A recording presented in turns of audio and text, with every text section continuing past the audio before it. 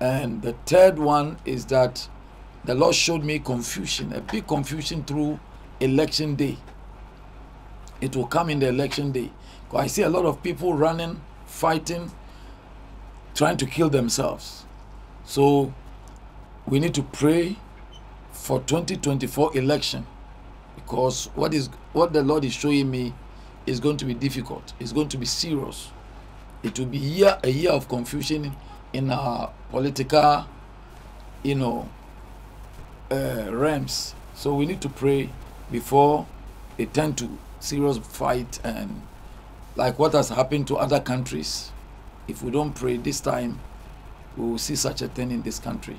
So we should pray for peace for the political parties. We need to pray for the peace of this country that we are enjoying. And also NDC, NPP. When I look at the realms, as the Lord showed me, there was no a winner. So they have to do a runoff. And I also saw court. Like there was a court case coming in. And there's a, a lot of confusion, misunderstanding concerning the election to the extent that people are attacking the electoral commission. And it, it was very, very uh, severe one. So uh, the, the, the body of Christ need to stand up and intercede for this particular election. This particular election is not going to be peaceful election. We need to be praying for this election. It's not going to be a peaceful election. I see a big confusion.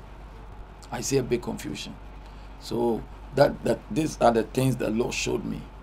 The prosperity is coming, but people have to work for it.